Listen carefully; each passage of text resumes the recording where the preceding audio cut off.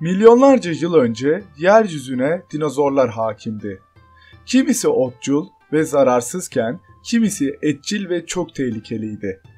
Boyutları ve yapıları ile günümüz canlılarından çok daha güçlüydüler. Belki de dünya üzerinde yaşayabilmek için o zamanlar şimdiye göre çok daha güçlü olmak gerekiyordu. Ve bu yüzden dinozorlar çok büyük ve güçlü canlılar olmuştu. Günümüzde bütün dinozor türleri henüz keşfedilmese de birçok türün keşfedildiği tahmin edilmektedir. Peki bütün bu keşfedilen türler arasında en büyük dinozor hangisiydi ve ne kadar büyüktü?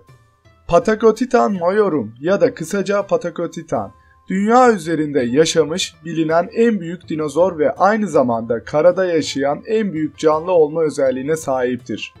Tabi muhtemelen bu dinozorun ismini daha önceden duymamış olabilirsiniz. Fakat Jurassic Park gibi dinozorları konu alan filmlerde bir yerlerde mutlaka bu dinozoru görmüşsünüzdür. Peki Patagotitan ne kadar büyüktü? Bu dinozor yaklaşık 62 ton ağırlığında ve burnundan kuyruğuna kadar yaklaşık 35 metre uzunluğundaydı. Günümüzde karada yaşayan en büyük hayvanlardan biri olan filden 7 kat büyüktü.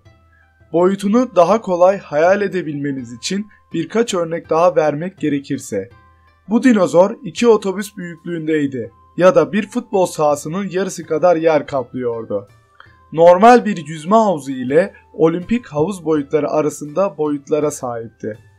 Bu dinozor günümüzde yaşayan en büyük hayvan olan mavi balinadan bile çok daha büyüktü. Ki mavi balinanın tek gözü bir futbol topu büyüklüğündedir.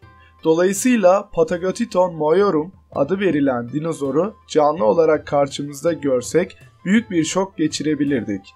Neyse ki bu dinozor tehlikeli ve yırtıcı bir tür değildi. Uzun boyunlu ve dört ayak üzerinde yürüyen dev otçul türdü. Genellikle ağaçların yapraklarını yiyerek karnını doyuruyordu. Yine de 100 milyon yıl önce yaşamış olan Patagotiton majorum günümüzde yaşamaya devam etseydi tehlikesiz olsa bile boyutlarından dolayı insanların korkmasına neden olurdu.